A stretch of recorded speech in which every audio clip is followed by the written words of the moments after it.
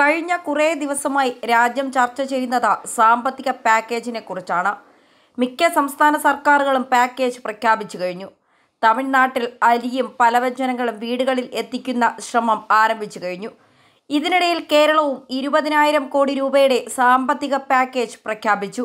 എന്നാൽ കേന്ദ്ര സർക്കാരിന്റെ സാമ്പത്തിക പാക്കേജ് എന്തായിരിക്കും എന്ന ഉത്കണ്ഠയിലാണ് എല്ലാവരും.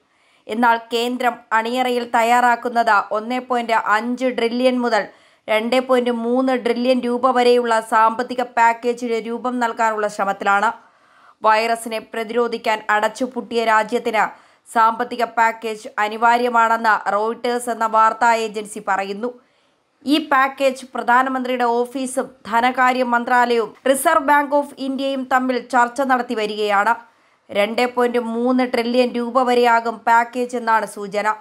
ധനമന്ത്രി നിർമ്മല സീതാരാമൻ കഴിഞ്ഞ ദിവസം സാമ്പത്തിക പാക്കേജ് പ്രഖ്യാപിക്കുമെന്ന് കരുതിയിരുന്നു. ഈ ആഴ്ച അവസാനം തന്നെ സാമ്പത്തിക പാക്കേജ് പ്രഖ്യാപിക്കും.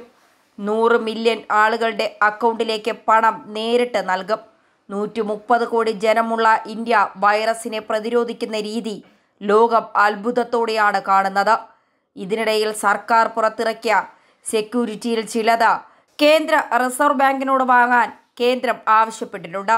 മുൻപ് പണപ്പെരുപ്പം ഭയന്ന് റിസർവ് ബാങ്ക് ഇത് ചെയ്യാറില്ലായിരുന്നു.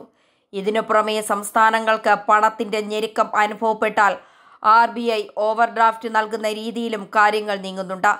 ടാക്സ് ഫയൽ ചെയ്യുന്നത് ഉൾപ്പെടെയുള്ള സുപ്രധാന സമയപരിധികൾ ധനമന്ത്രി നിർമ്മല സീതാരാമൻ ദീർഘിപ്പിച്ചിട്ടുണ്ട്. എത്രയും പെട്ടെന്ന് തന്നെ സാമ്പത്തിക പാക്കേജ് ഉണ്ടാക്കുമെന്നാണ് ധനമന്ത്രാലയത്തെ ഉദ്ധരിച്ച് റോയിട്ടേഴ്സ് പറയുന്നത്. എല്ലാ പൗരന്മാർക്കും ബാങ്ക് അക്കൗണ്ട് ഉള്ളതിനാൽ ഇപ്പോൾ തന്നെ സർക്കാർ സബ്സിഡി ഉൾപ്പെടെ അതിലൂടെയാണ് ലഭിക്കുന്നത്. അതിലേക്ക് സാമ്പത്തിക പാക്കേജ് പാവപ്പെട്ടവരിലേക്ക് എത്തിക്കാൻ ബുദ്ധിമുട്ടുണ്ടാകില്ല.